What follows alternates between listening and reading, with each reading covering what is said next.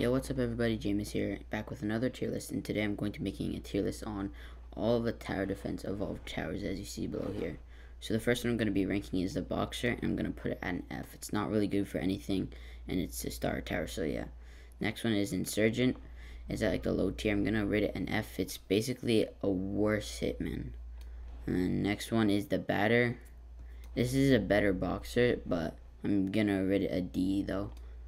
And then Scout, this one's better than Boxer. It's the better um, starter tower in my opinion. So I'm going to put this one also at a D.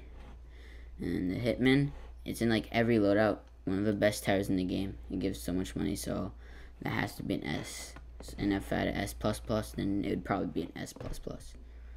And then the Miner, this one gives gems. I'm going to rate it a solid B because gems are really useful. Actually, no, I'm going to rate it a and then the operator, this one's also pretty good. I'm going to rate it a B. Nothing much to say about it.